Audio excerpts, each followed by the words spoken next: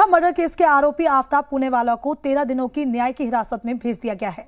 आफ्ताब को तिहाड़ जेल में रखा गया है। जेल में आफ्ताब पर कड़ी निगरानी रखी जा रही है। आफ्ताब पर नज़र रखने के लिए तिहाड़ जेल में प्रशासन ने खास इंतज़ाम किए हैं। क्या है पूरा मामला? दिखाते हैं इस रिपोर्ट में।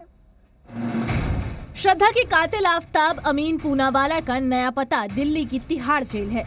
पुलिस रिमांड खत्म होने के बाद आफ्ताब को तिहाड़ के जेल नंबर चार में रखा जाएगा। शनिवार को सुबह 10 बजे आफ्ताब को मेडिकल टेस्ट के लिए दिल्ली के अंबेडकर अस्पताल ले जाया गया। इसके बाद पुलिस दोपहर ढाई बजे एक बार फिर आफ्ताब को लेकर अंबेडकर अस्पताल पहुँची, जहाँ एक कमरे में स्पेशल कोर्ट लगाई गई और वहीं पर आफ्ताब की पेशी करवाई गई। कोर्ट ने आफ्ताब को तेरह दिनों की न्यायिक हिरासत में भेजने का आदेश दिया। दरअसल दिल्ली पुलिस चाहती थी कि आफ्ताब के मामले में अंबेडकर अस्पताल में ही कोर्ट लगाई जाए और वहीं पर सुनवाई की जाए। तिहाड़ जेल में आफ्ताब की सुरक्षा के लिए भी खास इंतज़ाम। ये अपने घर में जो दो एक्स्ट्रा बेडरूम है उसमें होम स्टे बिज़नेस करके महीने का साठ हज़ार कमा रहे हैं। आपको भी ये करना है तो फ्रीडम ऐप को अभी डाउनलोड कीजिए। किए गए हैं। तिहाड़ के जेल नंबर चार में आफ्ताब को रखा गया है।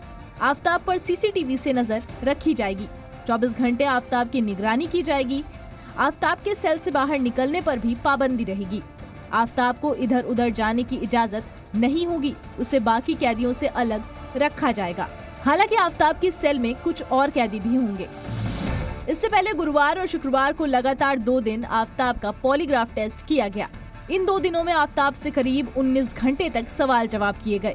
पॉलीग्राफ टेस्ट में आफ्ताब से किए गए सवालों में हत्या से लेकर शव के टुकड़ों को ठिकाने लगाने और सबूतों को मिटाने की बात शामिल थी।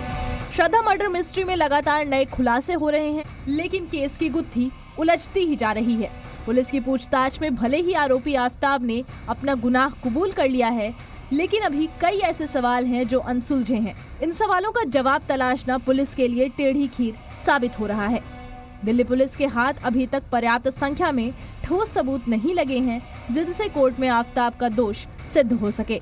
दिल्ली से नीरज गौड़ के साथ bureau report, Zee media. Shraddha murder case की गुत्थी सुलझाने के लिए दिल्ली पुलिस ने एड़ी चोटी का ज़ोर लगा दिया है।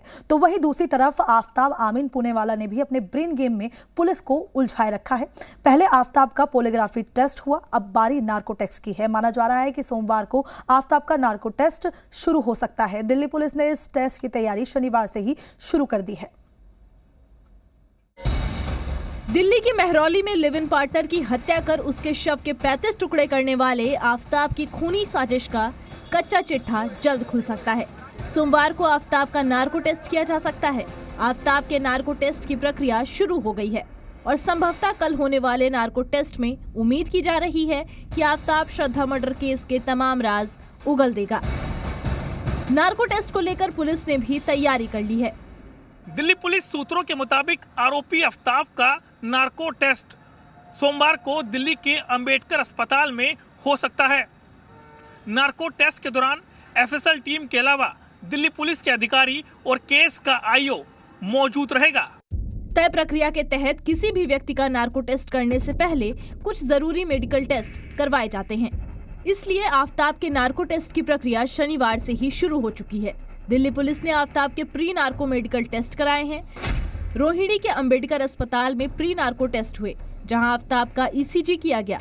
इसके साथ साथ आफ्ताब का ब्लड प्रेशर भी जांचा गया। वहीं कुछ और ज़रूरी बॉडी चेकअप भी किए गए। इस बीच दिल्ली पुलिस की टीम ने अब तक 20 लोगों के बयान दर्ज किए हैं।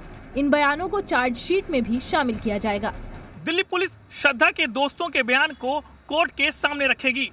इसी के साथ ही आरोपी अफ्ताब के माता पिता से जो पूछताछ हुई है, उसको भी चार्जशीट में शामिल करेगी, ताकि वो इस पूरी घटना को सबूत के तौर पर आरोपी अफ्ताब के खिलाफ कोर्ट में इस्तेमाल कर सके। ज़ाहिर है, श्रद्धा मर्डर केस को सुलझाने के लिए अब दिल्ली पुलिस की उम्मीद पॉलीग्राफ टेस्ट के बाद नार्को टेस्ट पर भी टिकी है। लिहाजा पुलिस ने आफ्ताब के नार्को टेस्ट के लिए सवालों की लंबी लिस्ट तैयार कर ली है। दिल्ली से नीरज गौड़ के साथ ब्यूरो रिपोर्ट, जी मीडिया।